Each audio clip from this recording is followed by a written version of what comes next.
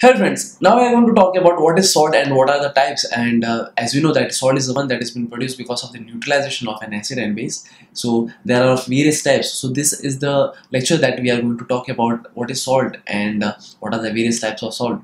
So let's talk about it.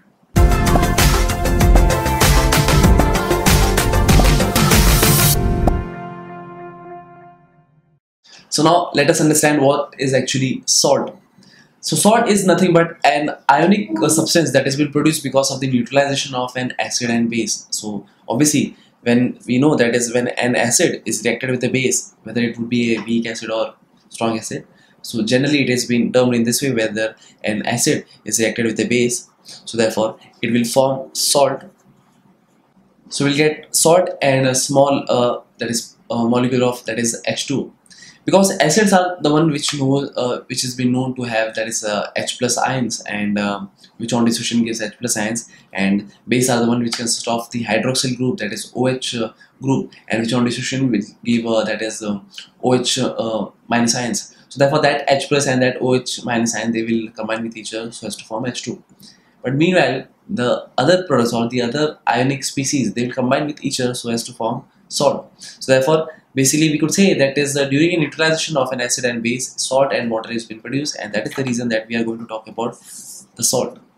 And even this is of different type. The reason behind that is because salt can be produced from a strong acid from a strong base or either from a strong acid weak base or either from a weak acid strong base or either from a that is weak acid as well as a weak base. So that makes the salt to be uh, originated from different kind of uh, that is uh, from different kind of the acid and as well as of base and that is a combination that uh, will result in the formation of the salt. So that is the reason that uh, the salts are being divided into that is four categories. And what are those? Let us talk about it. So talking about the first one that I am going to talk about is basically uh, the salt which is being produced because of a that is um, strong acid as well as strong base. So therefore for that this is the type one that I am going to talk about. And that is basically the salt derived from strong acid. So these are the salt that are being derived from salt uh, that is uh, as well as say from strong base. So let me give you an example. So this is the example that we uh, already did in our school level, but still, uh, for example, if I take a strong acid just like that of HCl, and if I combine with uh, that of a strong base, suppose, and that is uh, NaOH, so obviously we'll get to know that is NaCl is the one that has been formed as well as along with that that is H2. So this is what we have and uh, again suppose another example if I talk about like that of uh, like that is HCl along with that of that is KOH. So in this case the salt that has been produced is basically KCl and uh, along with that of the H2. So in this case if we observe then we'll get to know that is uh, the salt formation it depends on the acid as well as it depends on the base. Means if it is a strong acid as well as if it is, if it is a strong base then the salt is being produced in that manner where we could get uh, the salt would be more easily uh, that is uh, it will be soluble in water. And that's the reason that NaCl when dissolved in water it, becomes more soluble because it has been derived from a strong acid as well as from a strong base. So similarly, we could also uh, make uh, another example like suppose if I am talking about that is uh, HNO3 when it is reacted with that is KOH. So obviously we'll get to know that is the KNO3 is the product that we could get and the rest is basically H2. So talking about this thing as the H2 has been produced in this case and the salt has been uh, uh, that is it has been dissolved in the H2 because as we know that it is very highly soluble in water.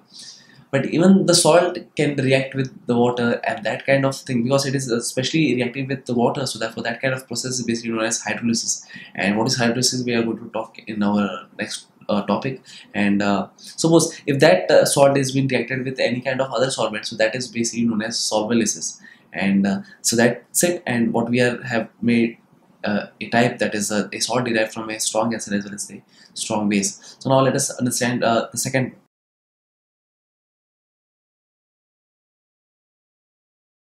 salt derived from that is strong acid and weak base. So let me give an example. In this case so we have to take a uh, strong acid uh, and a weak base. So for that uh, we obviously know that HCl is the one that is commonly we know it has a strong acid so suppose that acid is being reacted with a weak base and we know that ammonium uh, that is ammonium hydroxide or we could call it as NH4OH so this is the one that is basically a weak base. So when we react it with HCl so obviously we'll get to know that a salt will be a salt will be formed. So in this case basically NH4 which is having a positive charge and Cl which is having a negative charge so they will combine with each other so as to get uh, that is NH4 Cl along with that of water molecule that is H2 so because this NH4Cl or any kind of salt uh, it it is made up of a positive uh, cation and a negative anion so that is the reason that they are called to be the ionic product of uh, the neutralization of, of an acid and base. And that is what we have got over here. But this salt is basically originated or it has been derived from a strong acid as well as a weak base. So this is it uh, I want to talk about. And let us talk about the another one.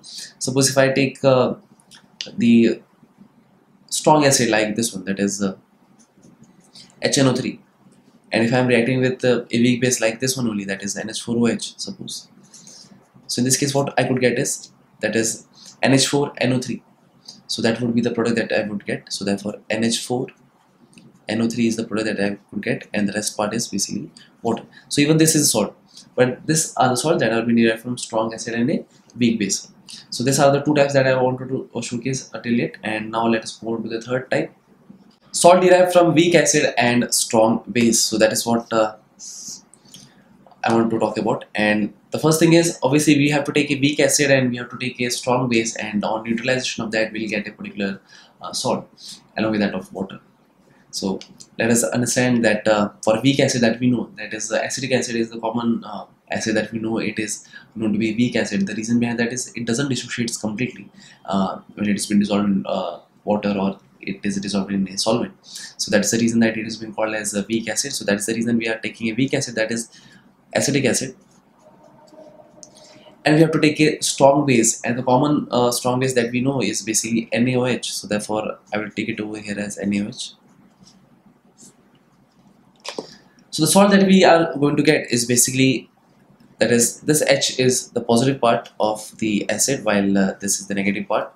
While in case of the Na it is positive while this is negative part so therefore obviously that is uh, this two uh, opposite charge they will attack each other and so as to form an ionic product. So therefore we could get that is CH3 COONA along with that of H2 so this is the product that we have got and this is known as sodium acetate. And uh, even this is very uh, ionic in nature and most uh, of all it is very much soluble in uh, that is water because it is a salt and most of the salt are very easily soluble in water.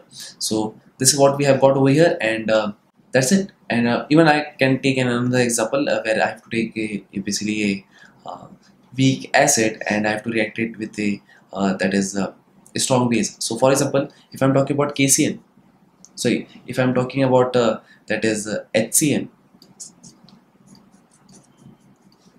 and if I'm reacting with the that is a strong base and that is basically like uh, I would say like KOH suppose. So in this case I would get uh, that is the salt that is KCl along with that of H2 so even this uh, is the example uh, where we could say that this is a kind of salt that is derived from weak acid as well as a strong base. So now let us move on to the next one.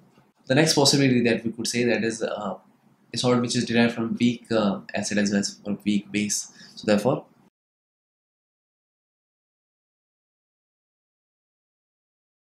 so now this is what we are going to talk about and uh, let us talk about how can we derive a basically uh, a salt uh, from a weak acid and a weak base. So for that uh, I have to take an example of a weak acid along with that of a weak base. So the common example that we know about the weak acid is basically CH3COOH that is acetic acid and we have to react with the weak base. So therefore that is NH4OH so in this case uh, the thing that we could get is uh, we could get uh, a product uh, that is uh, salt. And in that case that is this CH3COO will react with that is NH4 because NH4 is the one that consists of positive charge and the OH one that consists of negative charge. And even H plus it consists of uh, H consists of positive charge while the rest of the acetate ion that consists of that is negative charge. So that is the reason that we could get that is CH3COONH4 as uh, the salt and uh, the rest of is water. So this is what we have got and uh, that is a salt that is derived from a weak acid as well as a weak base. So therefore these were the types uh, of the salts that I wanted to mention about and uh, that's it. Uh, we have also talked about what is salt and the types. So thank you friends for watching this video. I hope you have understood this video and will share this with the friends. And yes, don't forget to subscribe. To a channel. Thank you so much